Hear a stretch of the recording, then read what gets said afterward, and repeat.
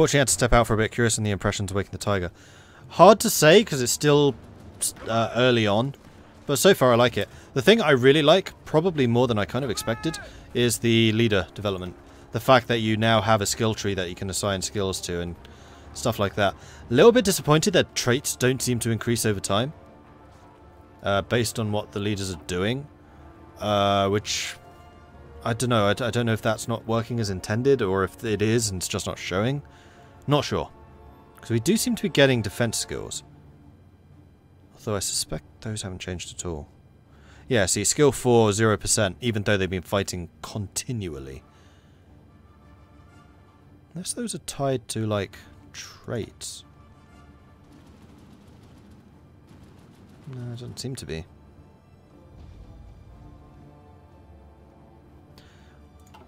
Um, and I like that battle groups are back, like they were in Hearts of Iron 3. Nowhere near as complicated as Hearts of Iron 3, where it would take you about two hours to sort out your order of battle before actually starting a, uh, a, a game.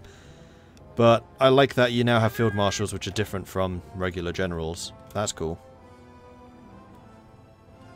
Well, one way that traits increase is technology. So you can, for example... Where were they? Here we go. French drill add defense skill 1 for all army leaders. But that's not individualized. I'd, I'd much prefer if they were individualized. I strongly suspect that that's something that modders will play with. I'm just surprised it's not in vanilla. And I may have left this too long.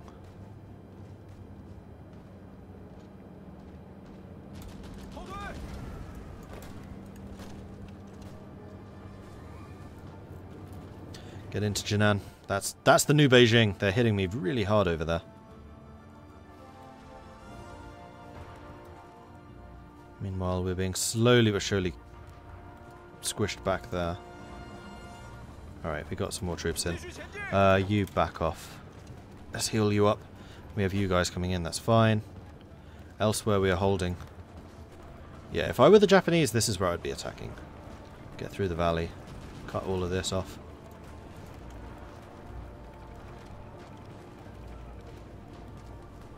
Got some big units coming into Jinan very, very soon.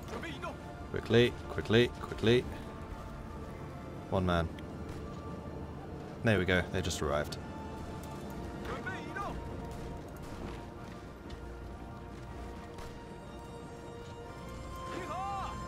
And they are coming back. This division recovery thing is definitely helping though. It's made a big difference. And also, we're going to be getting more experience. Slowly but surely. We still don't have any level 3s, which is kind of surprising. Or level 4s, rather, veterans. They're just regular. Why are you attacking? Don't do that.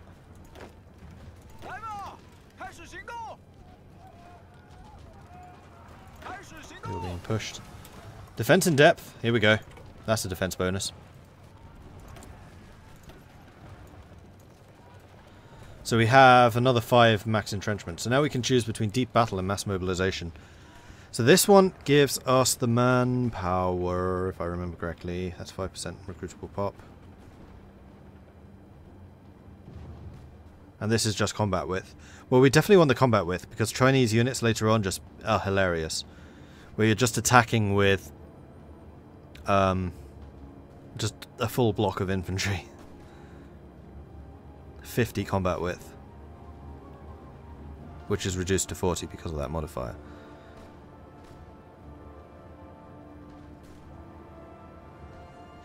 I'm tr just trying to see if there's any reason for me to take this. Plus 10 organization is nice. Recovery rate's all the way down there. Supply consumption's good. Max planning is good. See, there just aren't as many infantry bonuses on this side. Mass mobilization is definitely the infantry route. Infantry recovery rate plus 0.3. Reinforce rate plus 5. Is that the highest reinforce rate? No, it's always 5. No, it's not. It's only 2 here. It used to be 2% for everyone. That's a change. Huh. Yeah, again, 2%. So mass mobilization does more reinforce rate. That's very interesting. It's pretty early on up here. It's later for this one. Oh, that's a recovery rate for the entire army. You know what? I am sorely tempted to take the mass mobilization side. I don't see us using tanks. Because both of them have the infantry combat width reduction. And you also have way more bonuses for infantry. Just generally. Reinforce rate plus 15%. That's mental. Yeah, we're taking this side. I've never done this before. They've changed it. I like it. That's really cool. So if you're, it's basically Russia versus China. If you're playing as Russia, whoops, then you probably do want to take this side because you will be eventually mixing in armor. But as China, it's just all-out manpower, so you may as well just take that side. So I don't think I built a single tank when I last played as China. Pretty sure.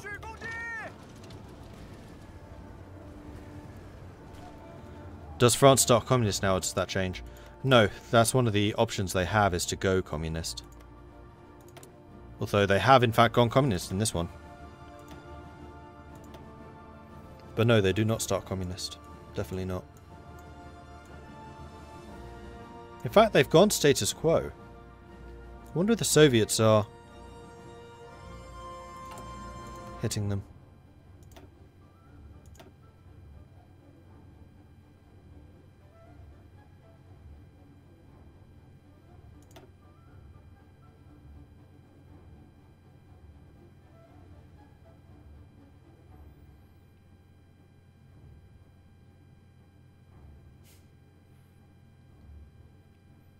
Saw the surrender limit minus 50%. I shouldn't have sniggered at that, but I, I'm, I'm going to snigger.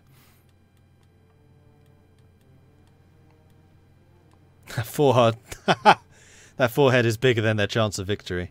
Ouch!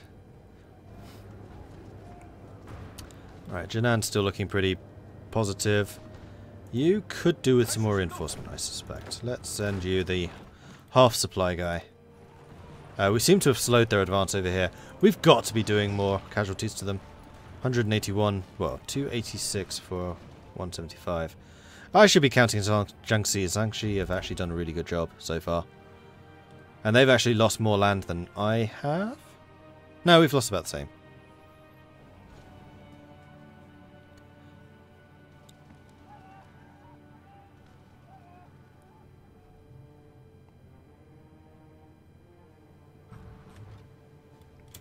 Oh. Oh, for Pete's sake. Get back in there. You as well. And you. Let's go. Uh-oh. I may have cut this too long.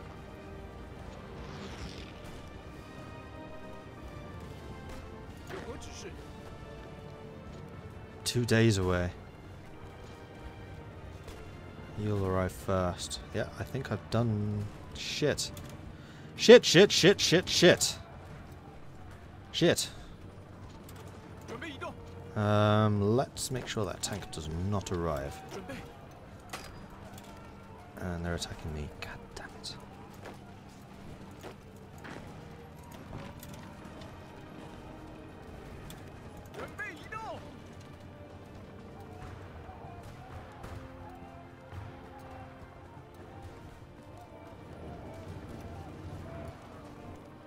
now I'm the one attacking, which is not good. I can modify my government, though. Oh, of course, you can do it in one jump now. I'd forgotten about that.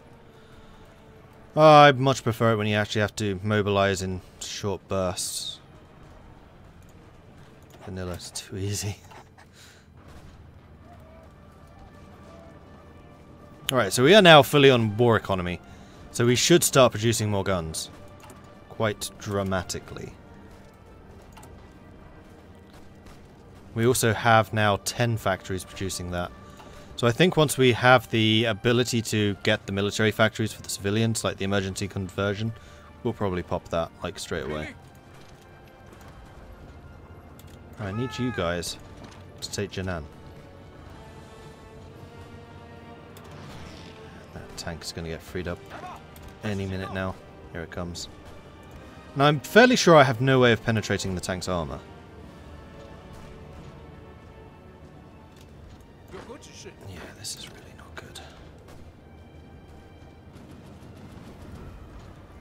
I basically have to do to them what they were doing to me and just constantly harry them. Otherwise that happens! Arrgh. How long until reform? 66 days. Oh, jeez. I like that this is hard. This is good. No, this is my spot. Not your spot.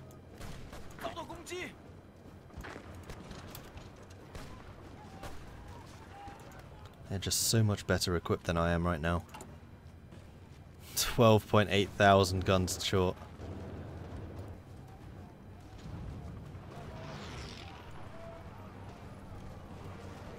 Alright.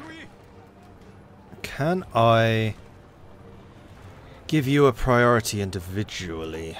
Or is that done on a theatre level still? Because I'd really like them to have the reinforcement priority.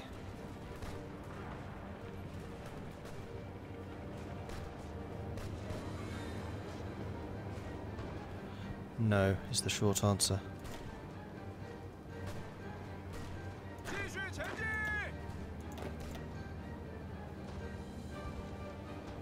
All of my generals have the same experience. Really? That seems unlikely. Oh no, they're pushing out really hard. This this is a bad spot we're in. This is a very bad spot. And at this point, I'm going to have to say thank you very much for watching. I do hope you have enjoyed this. If you have, be sure to hit that follow button to get notifications when I'm live in the future. If you've really enjoyed this, then do consider subscribing. It helps the channel out and lets me continue doing this into the future. If you want to support the channel in other ways, check out my Patreon, which you can find at patreon.com slash. Um, I also have a Discord, which you can find at this link here. That is where I tend to announce what I am streaming, when I am streaming, that kind of information. I do have a YouTube channel where this series is going to get uploaded. So if you want to see the beginning, if you haven't uh, caught the, the start, then that is where it will be uploaded. I will try and get that up this evening. Probably more likely tomorrow morning that will start. Uh, this is the DLC given to me by Paradox. This is the Waking the Tiger. It will come out officially on the 8th of March, so in three days' time on Thursday. I will be streaming this again this evening instead of Ultimate General. That's going to be kicking off at 10 p.m. GMT. That is in four hours from now. Unfortunately, I have other obligations, so I can't just keep going. But that is it for now. Thank you everyone very much for watching. I'm going to see who else is streaming this right now, so if you want to catch some more Waking the Tiger, then that can be arranged. Let's have a look.